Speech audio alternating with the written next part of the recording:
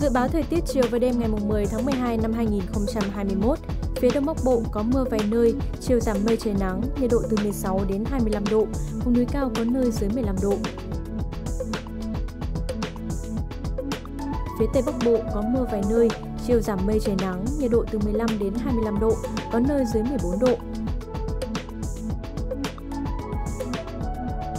Các tỉnh từ Thanh Hóa đến Thừa Thiên Huế có mưa vài nơi, nhiệt độ từ 17 đến 27 độ. Các tỉnh từ Đà Nẵng đến Bình Thuận, phía Bắc có mưa vài nơi, chiều trời nắng, phía Nam ngày nắng, đêm không mưa, nhiệt độ từ 20 đến 30 độ. Khu vực Tây Nguyên, ngày nắng, đêm không mưa, nhiệt độ từ 16 đến 29 độ. Khu vực Nam Bộ, ngày nắng, chiều tối và đêm có mưa rào và rông vài nơi, nhiệt độ từ 23 đến 32 độ. Thành phố Hồ Chí Minh, ngày nắng, đêm không mưa, nhiệt độ từ 25 đến 31 độ.